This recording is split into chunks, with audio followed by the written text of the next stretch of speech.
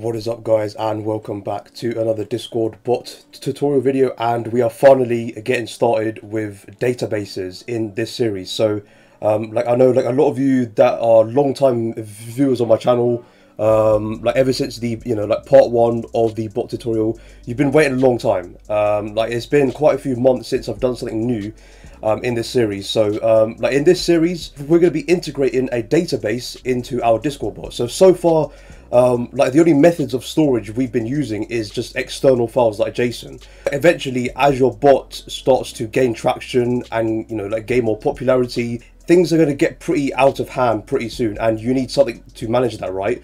So we're going to be integrating a database into our Discord bot to make life a lot easier. It just makes like things more seamless and more optimized in your Discord bot. Let me actually get you viewers up to date with what's happened so far in the series. So uh, parts 1 to 5 should be replaced with newer videos um, because the um, earlier parts of the series are pretty much outdated.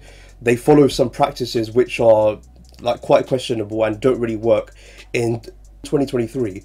Um, like I know one, you know, um, you know, like one complaint was um, like the fact that I was using the bot CS file as our bot configuration uh, file, and then using the program to do the get to get result, and that kind of stuff. And apparently, that's not the way to do it, right? So like that's why I had, you know, like you know, like that's why I had to just rewrite the whole, you know, like early parts of the series to just keep up to date. Like obviously, like a lot of you long-time viewers already know this, but for the newer viewers, I just want to get that out of the way just to keep you guys updated on what's happening here. So let's get started. So um, like obviously there is the there is the Discord bot template. I always say this in every single video now. Um, like it's just a nice way to get started making a Discord bot. It's a very nice empty framework for you lot to you know to like to approach test new features if you need to, um, and then merge them into your main bot. Um, but it's just very easy to just get started with this template. So like make sure you check this template out. The link is in the the description. So um, one thing I want to get out of the way, um, like this is very serious. When we do these kind of things, where we you know learn new things I hugely advise you lot to please do your research before you go ahead with the video because there is no point in just going balls deep on how to do something if you don't know what that is or how it works. I've said this with the actual Discord bot itself. There's no point trying to learn how to make a Discord bot if you don't know things like programming languages. You know, like what's the point of coding a Discord bot in C Sharp if you don't know how to code C Sharp? So it's just common sense things like that. Please do your research on on databases in general before you start this video so that you have at least a basic idea of what you're dealing with. Uh, because like I've seen a lot of people that are joining my discord server you know like I'm not saying everyone but like a lot of them have this sort of like clueless mindset.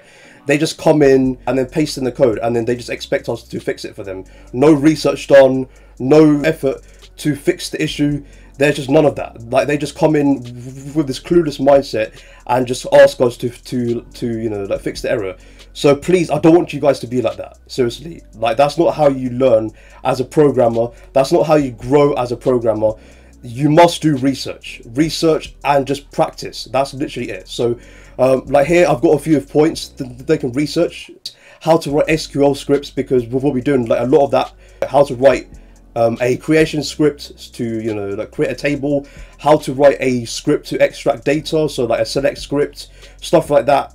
Um, they also need to know how classes in C sharp work. You know like I've been showing this to you a lot of times so like this should be nothing new to you but still keep up to date with how classes work in C sharp and also how a database table works. So stuff like primary keys foreign keys and stuff like that so make sure you research these points before you start this video. We're not going to do any coding here. I want to like, explain to you what actually a database is. Like, you know, like most of us have, have heard of a database, but we actually don't know what it is. most people, when they hear a database, they think of a table, like an Excel spreadsheet. So, for example, if I open Excel up and then I just open up a spreadsheet, this is what people usually think a database is. It's like a massive table of information, right? That's not actually it.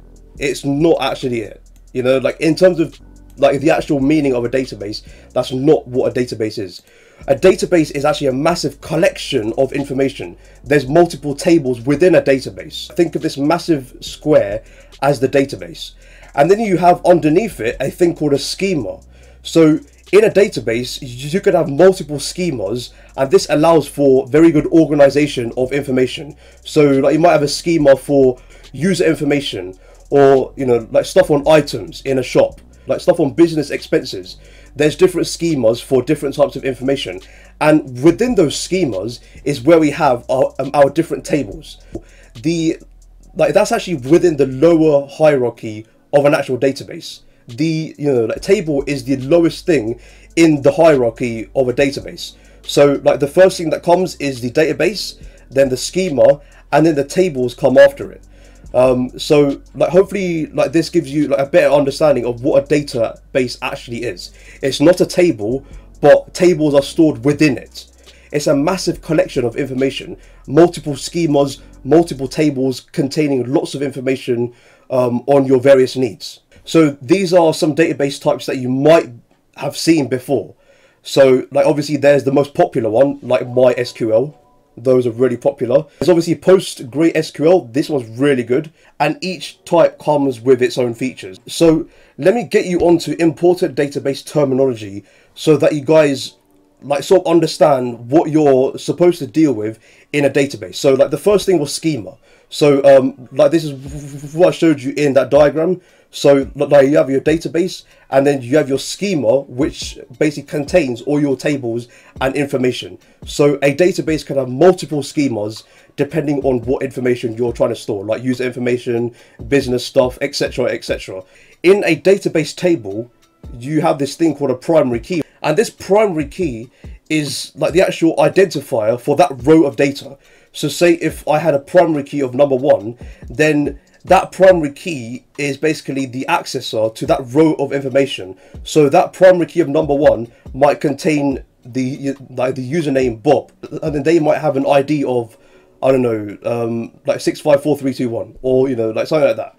So like this primary key is the unique accessor for a row of data, and this must be unique.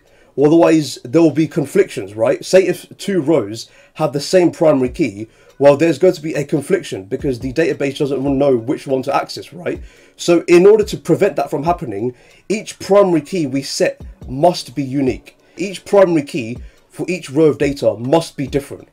The next thing is an SQL query. This is basically like a question we are asking the, the database. Get this user when their username is equal to Bob. So that's what an SQL query is.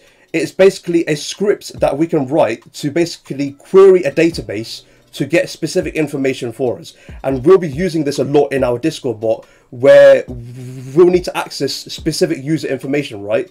In our profile system, the user executed the profile command.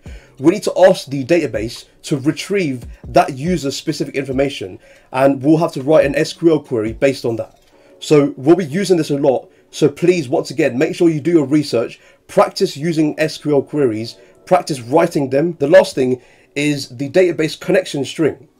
So when we implement our database in our Discord bot, we need to use this connection string to access the database. So um, like this connection string usually contains our host name, our username and password and stuff like that. And normally it looks like this. So like this is what a connection string looks like and we'll be using this in um, our C Sharp Discord bot. When we link our C Sharp Discord bot to our database, let's let's do this step by step, right? So first of all, we'll plan our database. What do we want to actually store in this database, right? What kind of information do we need to store in our database? And we'll be making our tables according to that. Because like there is no point going balls deep, starting coding, and you don't even know what your database looks like, right? So first of all, let's actually plan and set up our database so that we know what we're storing, right? The next step is to actually implement this in our Discord bot. So, you know, like write the code to like store information to this database or retrieve data from this database and like put it into your commands and make sure to test it as we go to see if it works as intended, right?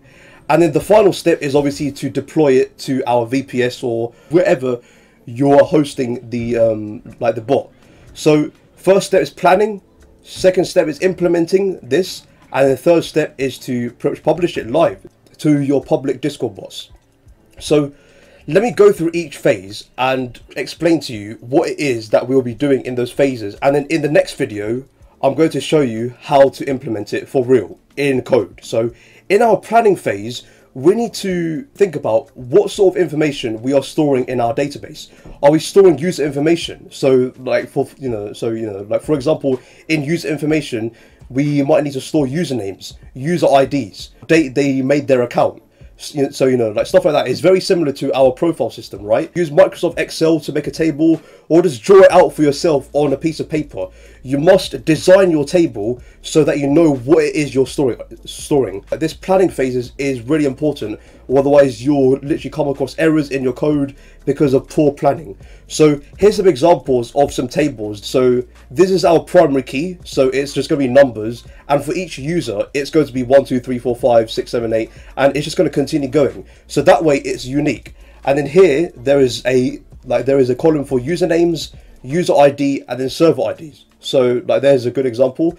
And here's one for items in a shop. So for example, here's the item number, here's the primary key, and then this is the item name. So for example, a sword, and then the price might be 100 of any currency, I don't know, you know, pounds or dollars or whatever, and then maybe like an item category to, to you know, like sort it properly. So a sword is a weapon, right? So make sure you plan your database before you actually put stuff in it for real. Next up is implementing. So like in C Sharp, there are many, many, uh, you know, you know, like many, many ways to implement this. There's obviously Microsoft's Entity Framework Core. There's obviously plenty of NuGet packages out there, um, and there's also plenty of database providers to choose from. Now, bear in mind, like a VPS, it doesn't come for free. There are some database providers out there who do it for free, but I'm gonna assume that it's very limited, and you know, like there's you know, like limited traffic, limited features. So make sure you choose a good database provider. Uh, just as a heads up, we'll be using a package called NpgSql. And if you know what this package is, then you'll know that this is actually a PostgreSQL database type. So I'm going to be using PostgreSQL as the um, um, as the database type for this video. Um, like I know, I'm totally aware that there are plenty of database types out there. I know, and like I'll just leave those criticisms to the comment section. I know. Um, but I'm just going to use what I know, what is most comfortable to me. Um, I actually learned PostgreSQL during my second year of uni, um, and honestly, it's actually a, a you know like pretty good database type to work with. And also, what we'll be using is an application called dbeaver. Make sure you have this installed before we start coding our database. What we can do in here is actually connect to our database using this application and our connection string and actually view all the different schemas and tables in our database. So this is a very useful application as you can see in that screenshot there. This is an example of what a table looks like. So once again, this is the same thing with making a C-sharp Discord bot. You need to do your research. I can't stress this enough and I've been saying this a lot. Research is so important and I've been finding a lot of people don't do this. They just go balls deep and they just start coding and just like and you know like seeing errors that they don't know how to fix please do your research it is so important look at manuals documentation articles make sure you guys know how to write good SQL queries for your specific database type as I've seen like with like a lot of database types like the way you write SQL queries is actually slightly different it is not like you know like hugely different but it's slightly different between each database type. So make sure you research how to write SQL queries for your preferred database type. And um, like obviously for, this tutorial, I'll, uh, like uh, uh, you know, like I'll be using PostgreSQL. So if you want to use PostgreSQL as well, then make sure you do your research. Um, and um, um and one more thing, please use the debugger. Honestly, um, like I've seen like a lot of people don't use this. It's it's quite sad, honestly because you know like they see an error but they don't debug their program to see where this error is happening and what your code is doing line by line so please use the debugger use breakpoints man it really helps like i've seen a lot of people do this they put console.write lines at specific lines where they might think it fails that also works but please use the debugger because it will help you a lot during testing. A try catch blocks also work as well because they catch errors. They don't force your application to crash. Um, like they're just so useful. So please keep this in mind. And that's about it for this part one video. So um, like hopefully after this video, you will have learnt a basic idea of what databases are and what is the plan for us to approach implement this in a Discord bot. So there's no code involved in here, but this is a very important video for you, for you know those of you that don't know what databases are. In the next few videos, we're going to be implementing this for real now. So we'll be using NpgSql um, in our C Sharp Discord bot every step of the way to properly integrate a database in your C Sharp Discord bot with no errors and pretty much as optimized as it can get. So hopefully you guys enjoy this video. Once again, please make sure you do your research on databases. It'll, it'll literally help you a lot.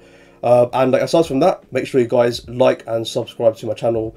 Um, like make sure you keep out for those future videos because they'll be very important. So I'll see you a lot in the next one. Peace out.